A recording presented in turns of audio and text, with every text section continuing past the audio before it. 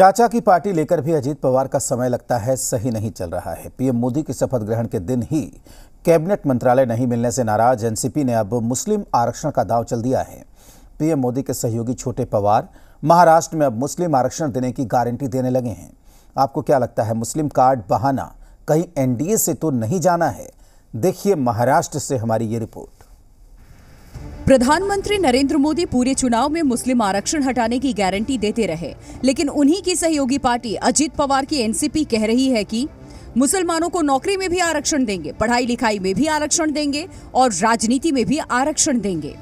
ये सिर्फ़ मांग नहीं है, एनसीपी की चेतावनी है। अजीत पवार गुट के नेता और एनसीपी के उपाध्यक्ष सलीम सारंग ने चेतावनी दी है कि अगर महाराष्ट्र में मुसलमानों को आरक्षण नहीं मिला तो सड़क पर आंदोलन होगा।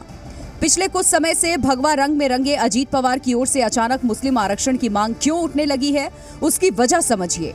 हाल ही में छोटे पवार की पार्टी ने चुनाव नतीजों के बाद एक बैठक की थी।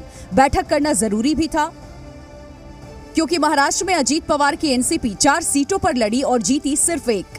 तो बैठक में सबने ये माना कि मुस्लिम वोटर उनकी पार्टी से दूर छिटक गए, इसीलिए उनका प्रदर्शन खराब रहा। उसके बाद छोटे पवार गुट से ये मांग उठने लगी कि महाराष्ट्र में मुस्लिमों को शिक्षा में पाँच प्रतिशत आरक्षण दिया जाए। उन्हें राजनीति में भी ज़्यादा मौके दिए जाएँ। सरकार में भी मुसलमानों की हिस्सेदारी बढ़ाई जाए। दावा किया गया कि महाराष्ट्र के मुख्यमंत्री एकनाथ शिंदे और उप मुख्यमंत्री देवेंद्र फडणवीस के साथ मिलकर अजीत पवार मुस्लिम आरक्षण को लेकर कोई योजना बनाएँगे।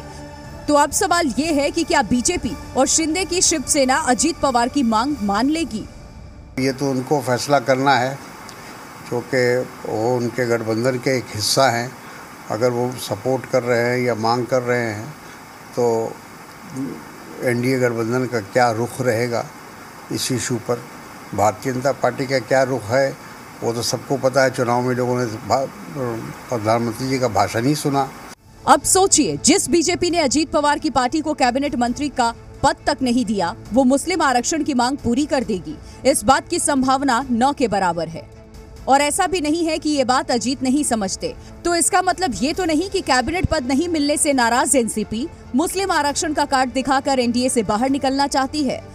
उद्धव ठाकरे की शिवसेना छोटे पवार के पैतरे से खुश है। वहीं बीजेपी कह रही है कि सब कुछ ठीक है। भारतीय जनता पार्टी जीत जाती है, तब उसका श्रेय संघ को और हार जाती है तो ज़िम्मेदारी अजीत दादा को। उसके लिए हमने टिप्पणी की है, मगर हमारा अलायंस भारतीय जनता पार्टी के साथ है। अजीत पवार के लिए मुश्किल एक नहीं है कई है। आरएसएस के अखबार ऑर्गेनाइजर ने एक लेख में एनसीपी को चुभने वाली बात लिख दी। लेख में कहा गया कि अजीत पवार की पार्टी को बीजेपी शिवसेना सरकार में शामिल करने का फैसला गलत था। इसका महाराष्ट्र में नुकसान हुआ। इस लेख से भी एनसीपी नाराज़ है। Bureau report Zee media. और यहाँ